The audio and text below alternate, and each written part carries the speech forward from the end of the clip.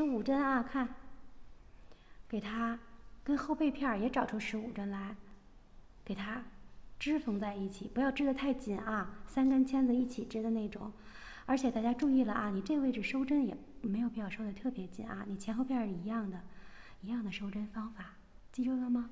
好，收完针之后，这儿也都缝合好了，那么这位置就形成一个大口子啊，这实际上就是你挑织袖子的地方，这是八厘米的这个宽度这儿啊。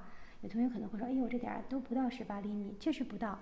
那是因为它这个袖子针数一定会比这儿要少一些的啊，所以你看，给它拽下去了，哈。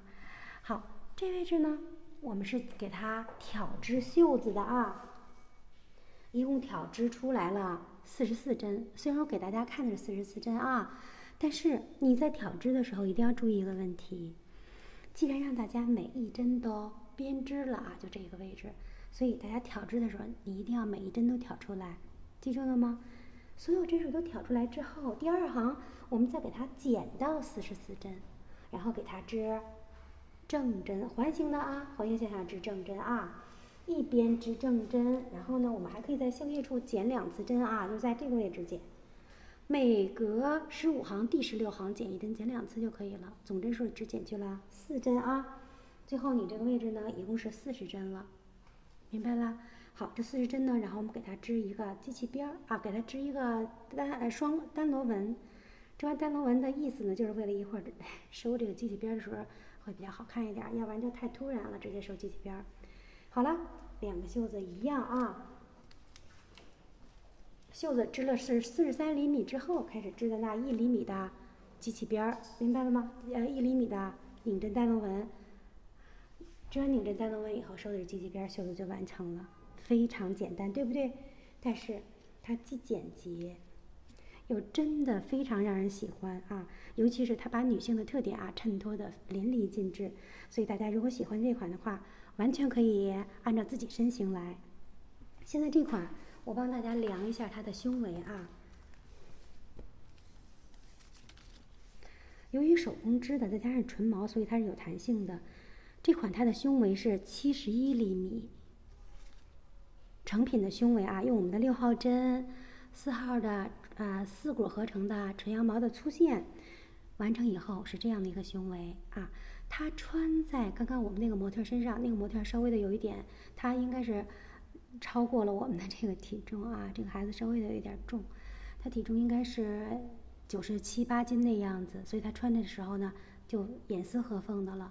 所以大家呢可以根据啊他的这个身高、体重以及你自己以及我们完成之后的啊他的这个尺寸，然后结合自己的情况来完成一下啊。你看，如果啊我们织成一百二十四针的啊，它正好是多少？七十七十一厘米啊，七十一、七十二啊，七十三厘米啊，七十三厘米，同学们。正好七十三厘米，明白了吧？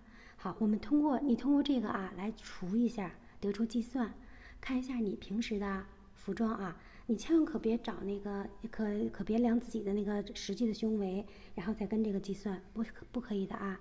你要找你一件就是比较紧身的，有一定的弹性的针织品，然后你看你自己那件衣服的胸围是多少。然后啊，你再根据这件衣服，根据自己的胸围呢，来给它安排针数。有同学说：“哎呀，这花不就呃六十针一个吗？我还能怎样安排呢？我没法控制它了。”不对，为什么？因为这个花纹可以无限的扩大的。你看，我们这一组花纹是六十针啊，你完全可以给它安排成六十四针啊，明白了吗？啊，但必须是四的倍数啊，同学们啊，六十四针、六十八针，我说的中间这个花纹啊，或者你还可以做一个小小改良，中间也不要两针反针，你中间可以一针反针都不会有影响，前后啊都是一针反针，但是这两个位置啊，你最好还是各留一针，一共两针反针，这是为了留做缝用的，知道了吗？所以啊，你的总针数啊，如果我给大家算出它的尺寸来，如果你的总针数是六十八针一个花纹的话，那么你的总体的比它多出来的针数就多少了？就比它多出来了十六针啊。通常情况下呢，我们织这种花纹啊，大概是两厘米，两针就是一厘米。大家能计算出来它的这个特点吗？立刻能够明白了，对不对？你增加了多少？增加了十六针，那么你的整个胸围就增加了八厘米，对不对？好，大家就按照这个来推算，然后得出来这个总体。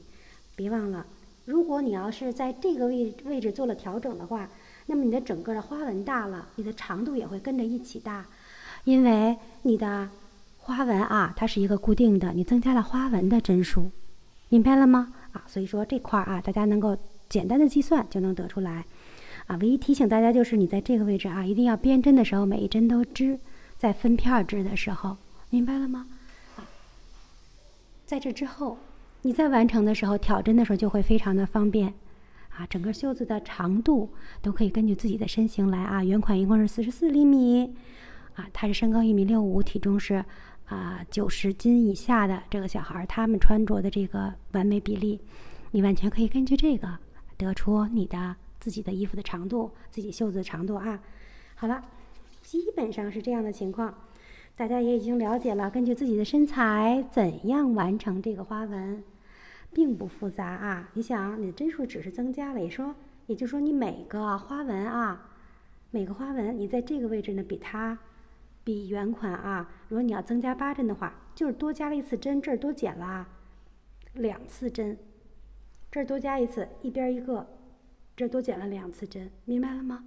就这点差别，但是它的胸围就会扩大了。好了，相信大家已经理解了。如果还有不明白的地方，在视频下方的留言区写出来，我会看到。